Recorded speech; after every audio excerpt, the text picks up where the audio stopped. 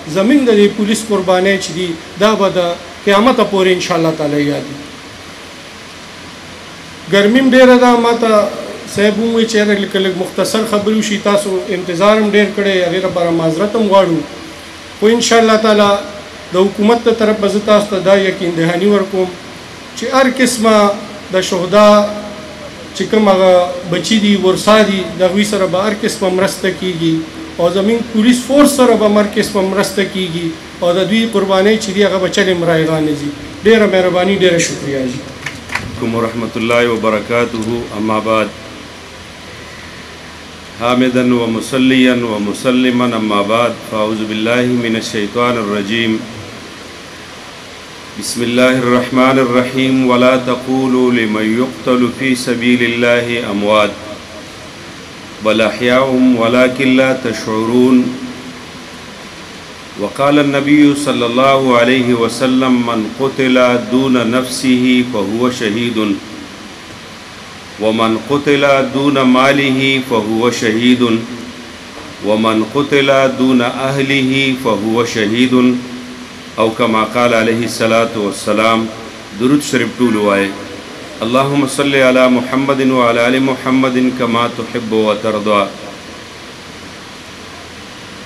ज़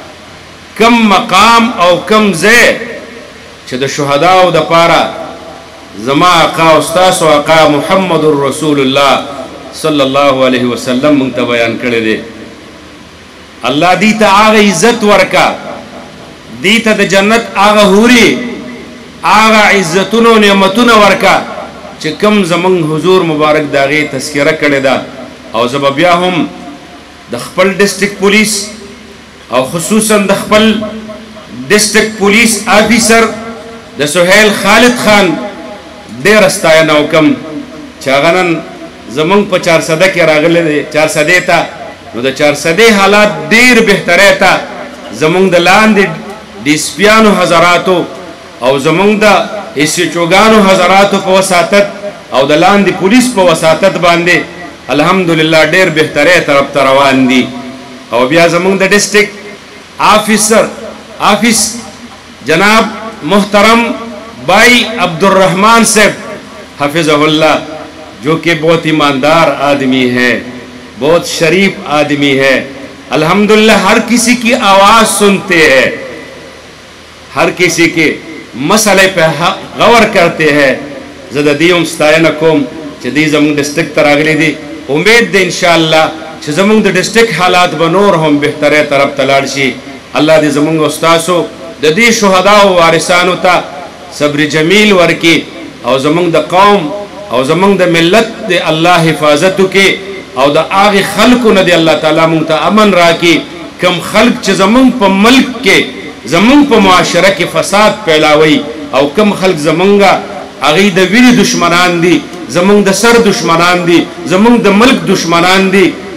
अगी दे अल्लाह पाक दागी नमंग हिफाजत और निजात नसीब के व आखिर दावाना अलहमदिल्ला रबालमी बसमीम honourable ex inspector general frontier constabulary Yaqub Khan साहब district police officer Suhail Khalid साहब तहसील नाजिम शाह सरदा मुफ्ती अब्दुल शकूर साहब ए सी चार सदा, आज इस पुरवकार तकरीब में मौजूद तमाम पुलिस के ऑफिसर्स डिस्ट्रिक्ट एडमिनिस्ट्रेशन के ऑफिसर्स, तमाम लाइन डिपार्टमेंट्स के ऑफिसर्स और आज की इस तकरीब को कवर करने वाले प्रिंट इलेक्ट्रॉनिक सोशल मीडिया के नुमाइंदगान डिस्ट्रिक्ट हेड्स और सबसे अहम जुज़ हमारे शहदाय पुलिस के लवाकिन आप सबको मैं आज की इस बहुत ही बेहतरीन अंदाज में मनक़द की गई तकरीब में तशरीफ़ लाने पर शुक्रिया अदा करता हूँ। आज का ये दिन इसी जोश खरोश के साथ मनाने का हक इसलिए रखता है क्योंकि हमारे आने वाली नस्लें, हमारे बच्चे जो कि कसीर तादाद में यहाँ पे मौजूद हैं, हमारे बुज़ुर्ग, हमारे जवानान जो अपनी आँखों से देख रहे हैं कि इस मुल्क के ऊपर एक एक करके हमारे पुलिस ऑफिसर्स, हमारी आर्म फोर्सेस, हमारी सिविल कम्युनिटी के लोग तमाम अपनी जान निशावर करते चले जा रहे हैं। उनको इस चीज़ का एहसास हो कि ये मुल्क, इसकी जो कीमत है, वो हमारी और आपकी जान से कहीं ज़्यादा है। और इस मुल्क की ये पाकिजगी है, मैं चूँकि तकरीबन आठ साल पाकिस्तान आर्मी में सर्व कर चुका हूँ तो मैं अपने एक्सपीरियंस से आपको ये बात बताना आज बहुत ज़रूरी समझता हूँ कि ये मट्टी, ऐसी मट्टी है, ये वो पाकिज़ा मट्टी है जो हमेशा अपने लिए सबसे पाक तरीन खूब खून का इंतखब करती है। आप लोगों को इस चीज़ का एहसास ज़रूर हुआ होगा कि आप और हम हम सब में से जो सबसे पाक खून है, जो सबसे ज़्यादा अल्लाह ताला के करीब इंसान है, इस मुल्क के ऊपर कुर्बान होने के लिए उसकी सिलेक्शन होती है, आपकी और मेरी नहीं होती। मैं जिस यूनिट में सर्व कर रहा था मेरी आँखों के सामने हमने 27 शहीद उठाए, बावन ज़ख्मी हुए, दो साल के अरसे में। और वो 27 लोग वो थे जिनका किरदार पाक, जिनका ख़ानदान पाक, जिनकी कमाई पाक, जिनकी सोच पाक थी। इसलिए मुझे इस चीज़ का पूरा यकीन है कि आज ये जिस स्टेज के ऊपर मैं खड़ा हूँ, इस स्टेज के ऊपर खड़े होने के काबिल हम नहीं हैं, क्योंकि जिन लोगों की तस्वीरें पीछे लगी हुई हैं, ये हमारे माशरे के सबसे पाकिज़ा तरीन लोग थे, इसलिए इनकी खून की, अल्लाह ताला ने इनको ये इजाज़त दी कि ये इस पाक मट्टी के ऊपर अपने खून की कुर्बानी दें। और ये भी मैं बताना ज़रूरी समझता हूँ कि पाकिस्तान वो वाद मुल्क है जिसने इस कदर शदीद दहशत गर्दी का मुकाबला किया और उसको शिकस्त दी। दुनिया का कोई मुल्क, दुनिया की कोई सुपर पावर, चाहे वो अमेरिका हो या रशिया हो, कोई ऐसी पावर नहीं है जो कि गुरीला वारफेयर को शिकस्त दे सकती हो। गुरीला वारफेयर को शिकस्त अगर दी है तो ये पाकिस्तान की पुलिस के पी के की पुलिस बिलखसूस और पाकिस्तान की फ़ौज ने दी है। और दुनिया के सारे जो दुश्मनान इस्लाम और दुश्मनान पाकिस्तान है, वो परेशान है कि ये किस मट्टी के बनिए लोग हैं कि हम जो साजिश इनके ख़िलाफ़ करते हैं, ये उस साजिश को पसपा कर देते हैं। मैं आज इस स्टेज से उनको ये पैगाम देना चाहता हूँ कि आओ और इन वर्दी में खड़े हुए लोगों को देखो। देखो कि ये इस मट्टी के बने हुए लोग हैं जिसको दुनिया की सारी ताकतें मिलकर भी शिकस्त नहीं दे पा रही और इन ताला दे भी नहीं सकेंगी। ये वतन इस्लाम के नाम पे बना था। ये वतन मदीना दोम है। इस वतन ने इन ताला रहती दुनिया तक कायम रहना है। और ये हमारी खुशकिस्मती है कि अल्लाह ताला ने हमारी कौम को चुना है इस वतन की खिदमत करने के लिए। मुझे पता है कि एक बच्चा जब पैदा होता है उसके वालदेन उसकी परवरिश करते हैं, किस मोहब्बत के साथ परवरिश करते हैं। उनकी कोशिश होती है कि उसको एक कांटा चक न चुभे। अगर वो बिस्तर में सोया हुआ उठ जाए तो वालदेन को परेशानी होती है। और उस बच्चे को पाल पोस के तैयार करके वर्दी बनाते हैं और इस मुल्क की हिफाजत के लिए भेजते हैं। लेकिन ये ज़िंदगी बड़ी मुख्तर सी चीज़ है। आज से सौ साल पहले दुनिया की आबादी जो पाँच अरब थी, आज उनमें से एक भी इंसान ज़िंदा नहीं है। और आज दुनिया की साढ़े छः अरब आबादी में से सौ साल बाद एक भी ज़िंदा नहीं होगा। एक वक्त आएगा जब इधर खड़े हुए तमाम लोग अपने खाल के हकीकी से जा मिलेंगे। कोई बिस्तर पे पड़ा होगा, कोई हस्पताल में पड़ा होगा, कोई किसी खुदा न खास्ता हादसे का शिकार होगा। लेकिन जाना सबने है। तो इस दुनिया से जाने का जो सबसे बेहतरीन तरीका है, वो ये है जो इन लोगों ने अपनाया। और ये वो तरीका है जो कि अपनाने के बाद मेरा अपना ये ख्याल है कि हमें इस चीज़ पे अपनी मसरत का इजहार करना चाहिए। हमारा दीन इस्लाम, अगर किसी एक चीज़ के ऊपर अपनी जान कुर्बान करने की इजाज़त देता है तो वो जिहाद है। जिहाद वो चीज़ है जिसकी इतनी वैल्यू है जिसकी इतनी वर्थ है कि उसके ऊपर इस्लाम इजाज़त देता है कि आप अपनी जान तक कुर्बान करें। लिहाजा मुझे बहुत खुशी हुई अभी जो अनाउंसमेंट की प्राइवेट स्कूल्स एसोसिएशन ने। अल्लाह ताला इनको जजाय खैर अता फरमाए। मेरी डिस्ट्रिक्ट पुलिस ऑफिसर साहब से भी रिक्वेस्ट होगी कि डिस्ट्रिक्ट एडमिनिस्ट्रेशन के साथ तमाम शहदा के लवाहकीन का डाटा शेयर किया जाए, ताकि डिस्ट्रिक्ट एडमिनिस्ट्रेशन चारसदा भी अपनी तरफ़ से इन तमाम शहदा के लवाहकीन के लिए एक प्लान लेके आए, जिसके तहत उनको ना सिर्फ़ प्राइवेट स्कूल्स के अंदर, बल्कि हर ट्रांसपोर्ट के ऊपर, हर मेडिकल फैसिलिटी पे, हर हॉस्पिटल के अंदर, चाहे वो प्राइवेट हो या गवर्नमेंट हो हर सरकारी दफ्तर के अंदर इनके लिए किसी किस्म की कोई लाइन नहीं होगी, इनके लिए किसी किस्म की कोई फ़ीस नहीं होगी, इनके लिए किसी किस्म का कोई इंतज़ार नहीं होगा। ख़ास तौर पे जो पेंशनर्स हैं हर बैंक के अंदर, और इसके अलावा भी जितनी भी ऐसी जगह हैं जो डिस्ट्रिक्ट एडमिनिस्ट्रेशन देख सकती है, उनके अंदर हम इन ताला कोशिश करेंगे कि हमारे जो शहदा के लवाहकिन हैं उनको प्रेफरेंशियल ट्रीटमेंट दी जाए, क्योंकि ये वो लोग हैं जिन्होंने हम सब के मुस्तबिल के लिए कुर्बानी दी है। अगर ये वो लोग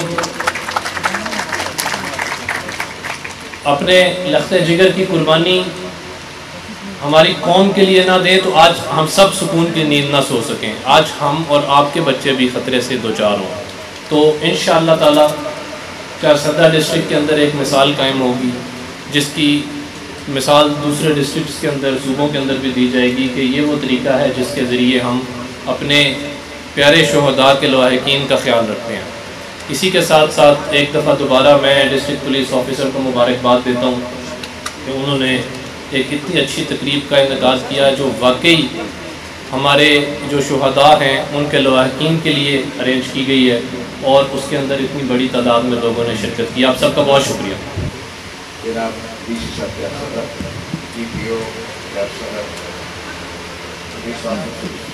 जनाब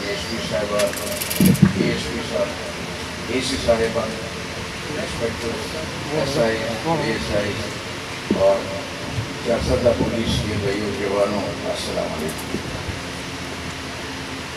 शुहदा की याद में ये तकरीब बनाने की है थोड़ा सा चूँकि ये जंग से मैं वापस आ रहा हूँ और तीन साल दो हज़ार नौ से लेकर ग्यारह तक डायरेक्ट कमांड किए मैंने पेशार पुलिस या सदा पुलिस और नौशहरा पुलिस। और उसके बाद इलेक्शन जब आए तो दोबारा मुझे सी सी पी ओ लगा दिया गया तो मेरे पास तो सारा तो सारी यादाश्तें हैं। ये जो शरीर हैं आपके इनको इसलिए भी हम लोग, हम लोगों को इनकी बहुत कदर करनी चाहिए। ये ना होते और ये कुर्बानियाँ ना देते तो मेरा ख्याल में आज यहाँ दहशत गर्द बैठे होते और हमारी कमान वो कर रहे होते। सलाम है इनको। पुलिस के हवाले से शुरू इस तरह से करूँगा कि पुलिस का काम जो होता है वो crime control law and order mainly ये ड्यूटीज़ हैं हमारे साथ में ट्रैफ़िक कंट्रोल और वी प्रोटेक्शन दहशत गर्दी के लिए हमें ट्रेनिंग नहीं दी जाती है। उर्दू के प्रॉब्लम नीचे पख्तो तरह हुआ है।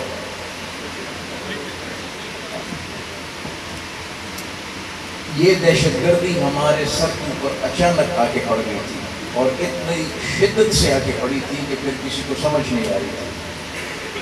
अगर आपको याद हो तो जब ये ग्रुप्स में हमला करते थे, और एक टाइम पे स्वाद में जब शुरू हुआ, फिर ये गुनेर तक आ गए तो हेडलाइन थी अखबार की, एक नेशनल डेली की, कि तालिबान एट द गेट गुनेर के बाद तो फिर आगे तरबेला के बाद थोड़े पास फासले पर इस्लामाबाद उन्होंने कहा, पेशावर को गया, फिर कहा के पी गया और फिर कहा कि अभी भी इस्लामाबाद गया लेकिन यही पुलिस थी जो लड़ी स्पेसिफिकली पेशार नौशहरा चारसदा मरदान सवारी, इन एरियाज़ में कहीं पे भी मिलिट्री ऑपरेशन नहीं हुआ।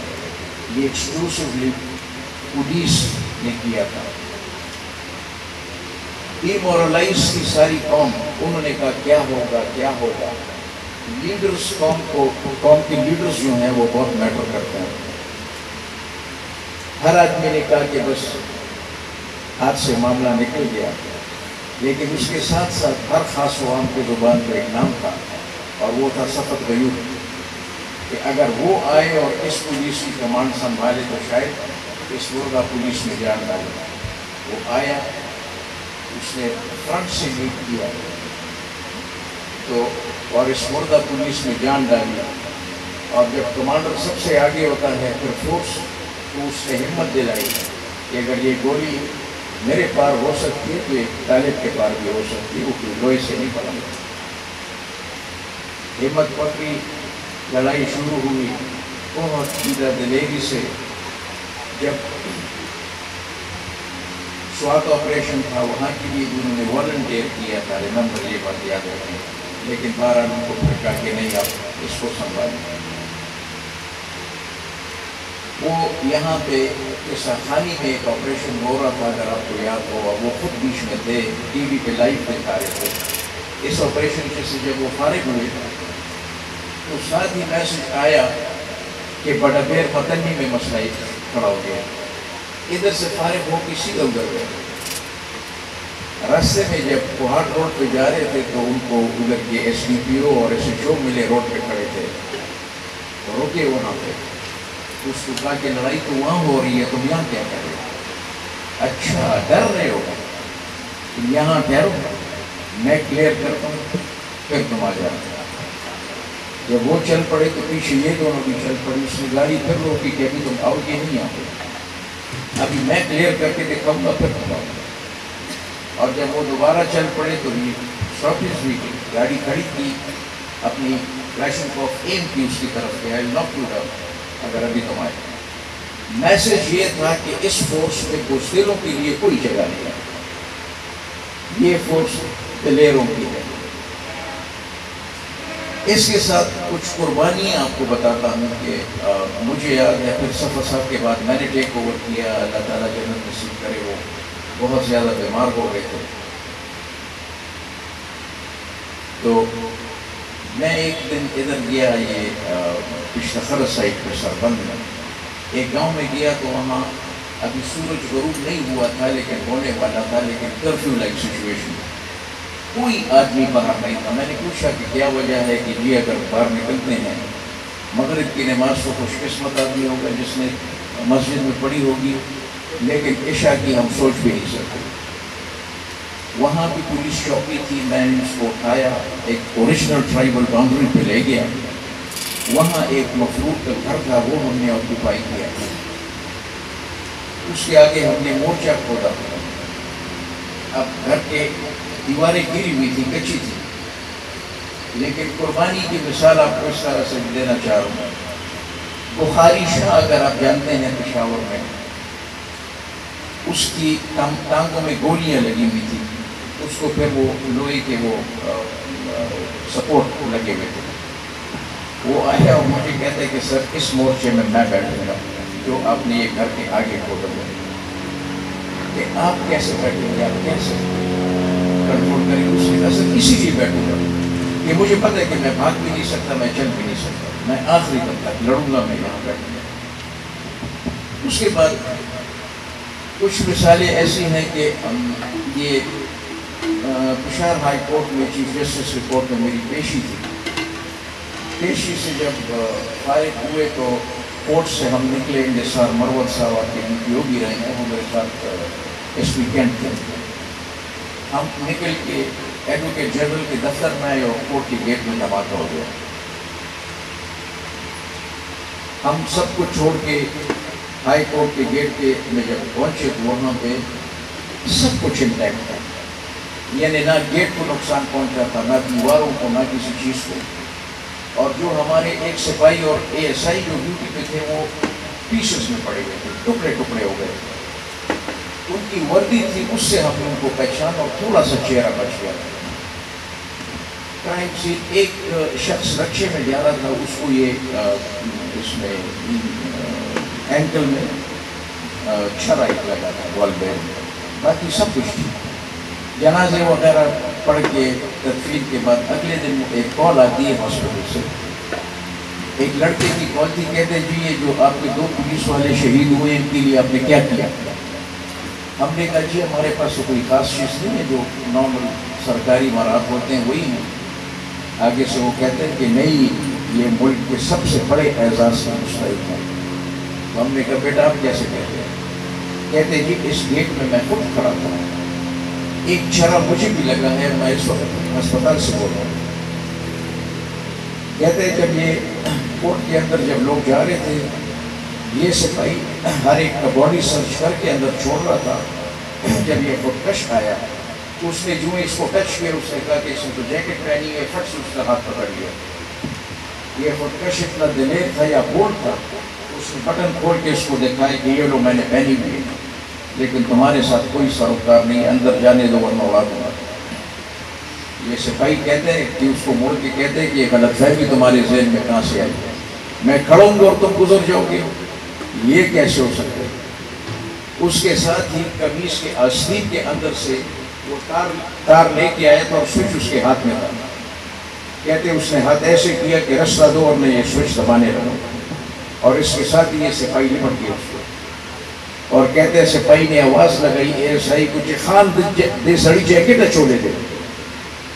कहते हैं, पीछे से वो भागते हुआ है और वो इसको निपट गया और इसने अपने आप को एक्सप्लोर कर दिया।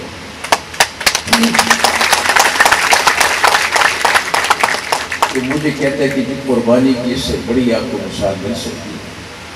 बेशुमार है, लेकिन पहले छोटी सी मिसाल आपको तो यंग सिपाहियों की बताता हूँ। इलेक्शन आ गए थे तो दो दो, तीन दिन बाद इलेक्शन थे और ये बीच में एक लंग पीरियड आ गया था, मैं बीच में चला गया था ये एनडीयू में।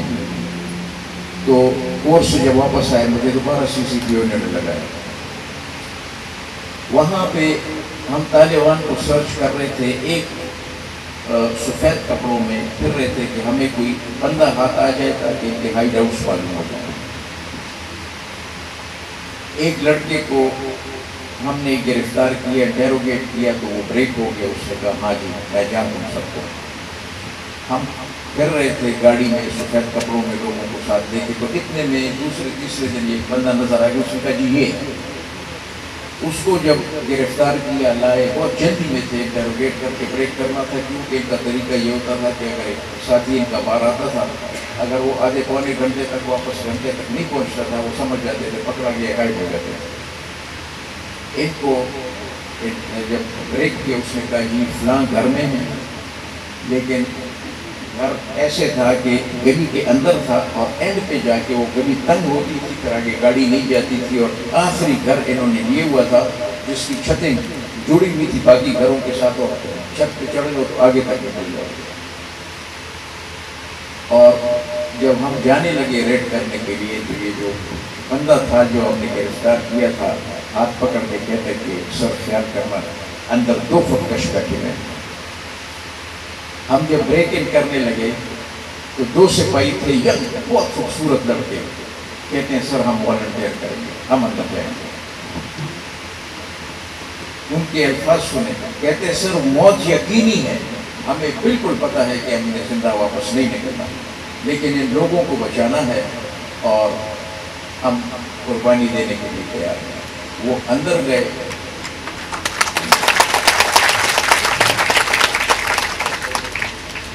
उस एक खुदकश ने अपने आप को एक्सप्लोर कर लिया वो छत सारी बैठ गई और दूसरा खुदकश तो उसको अपने ज़िंदा पकड़ लिया।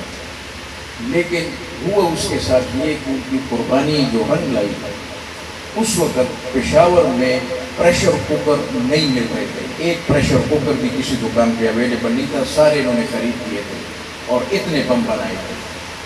और उन्होंने हर जगह वो प्लांट करना था और ये बारूद जब आप सख्त किसी चीज़ के अंदर डालते हैं जब वो एक्सप्लोड होता है तो उसका असर बहुत ज़्यादा होता है उससे ये हुआ कि जब जो दूसरा फुटकश था, जब उसको हमने पकड़ा बाकी साथी उनके पकड़े गए तो फिर जिस अगले दिन जब इलेक्शन था, रात को इन्होंने घर में इकट्ठे होना था, वो ये फ्रंटियर रोड के साथ घर था अक्रॉस ट्राइबल एरिया में। वहाँ पे फिर जब ये सब लोग इकट्ठे हो गए और लकी भी हमने फिर एक एयर मिशन उड़ाया और उस उसमें मिसाइल रखे थे जब हमारा मिसाइल तो घर के ऊपर बैठ गया। फिर कुछ लोग इमदाद के लिए आए। उसके बाद दूसरी सौटी उड़ाई। वो भी कामयाब रहा। लेकिन फिर उसके सुबह जब इलेक्शन थे, पूरे मुल्क में सबसे पीसफुल इलेक्शन जो है, वो पेशावर में एक इंसिडेंट भी नहीं हुआ था। कुर्बानी उन दो बच्चों की थी जिसकी वजह से सब लोग बच गए। लेकिन आपको बताना था कि ये एक मामूली लोग नहीं थे, ये बहुत बड़े लोग हैं। अल्लाह ताला इनको अजर दे और इसका सिला इनको दे और इनकी बरकतें हम में भी डाल दें। इनकी कुर्बानी का जज्बा हमें भी पैदा कर दे। सिर्फ़ जाते हुए एक छोटी सी मिसाल आपको और दूँगा। जो तकलीफ़ें इस फोर्स से गुजारी हैं एक दिन अ, मैं इसके साथ जा रहा था आईजी के साथ तो फिर उनको कॉल आ गई कहीं उन्होंने मीटिंग पे जाना था उसकी एक मीटिंग थी फ्रेंच एलीट फोर्सेस का जो कमांडर था उसके साथ। एलीट फोर्सेस फ्रेंच की मुझे आईजी ने कहा कि जी आप इसको डील कर लेना उसके साथ बैठा तो बातचीत में इशारे में मुझे कहते कि आपने ये कैसे किया? स्वाद से को आड़े लिए और जाके वजीरस्तान पे खड़ा कर दिया। हम पता नहीं इतने अरसे से सारी दुनिया की फौज लेके आए हैं और हम अभी तक हम काबुल से बाहर नहीं जा सकते तो मैंने उसको कहा कि लीडरशिप करेज एंड विल मुझे कहते एक्सप्लेन कर सकते मैंने कहा जी। लीडरशिप में मैंने उसको मिसाल दी, सफ़र गयूर साहब ने कि ऐसे लीडर हो तो उसके लिए लोग जानना करते हैं। करेज मैंने इसको, ये मिसाल दी हाई कोर्ट वाली फिर उसको कहा कि मुखालते में ना रहना, क्योंकि शायद ये एक कोइंसिडेंस था, एक इतफाकी वाक़ था। नो मैंने उसको कहा, मेरे पास बत्तीस दिनों में आठ इस तरह के वाक़ आते हैं, जहाँ पे मुख्तशों को ये निपट गए हैं। तो ये कोइंसिडेंस नहीं था, और मैंने कहा, तीसरी मिसाल विन। वो ये है कि जब मैं नौ बजे दफ्तर से फारिग होकर निकलता था सारी रात बाहर रहता था और अक्सर सुबह हो जाती थी उधर से सीधा दफ्तर आ जाता किसी दिन जल्दी फारिग होता था तो सीधा इंटरोगेशन रूम में वहीं सुबह हो जाती थी उधर से सीधा ऑफ़िस आ जाता था। तो मैंने कहा, जब मैं जाता हूँ और ये चेक पोस्ट यहाँ हमारी हैं check points I make it a point कि मैं हर किसी के साथ रुकूँ, दो मिनट गुजारूँ उसके साथ। तो उनके साथ जब हाथ मिलाता था, सख्त सर्दी थी, सख्त शदीद सर्दी थी, दिसंबर, जनवरी का महीना। तो मैंने कहा, जब मैं हाथ मिलाता हूँ ये राइफल का लोहा बहुत ठंडा हो जाता है। तो हाथ में के या। तो जब मैं हाथ मिलाता था तो फिर आगे मोटे का हाथ में हो जाता था पानी इनकी आँखों से बहर हो रहा था और इधर दाढ़ी में सब जगह पे जमा होता था मैं इनसे सवाल पूछ रहा था कि, बेटा, कब से खड़े हो? कितनी देर हो गई है? अब आज रात में मुझे कहते सर, कल सुबह का खड़े पिछली कल का तो मैं लाजवाब हो जाता था से जवाब नहीं होता था कि मैं क्या करूँ? मुझे फ़ौरन तसली देना शुरू हो जाते थे सर आप भी तो साथ हैं जंग है, हमने लड़ी तो इस तरह से ये लोग, मैंने कहा कि आपके फ्रेंच यूनिट फोर्सेस के कमांडर को मैंने कहा कि आपका सिपाही आठ घंटे बाद राइफल टैंक के चला जाता है मेरी ड्यूटी ख़त्म।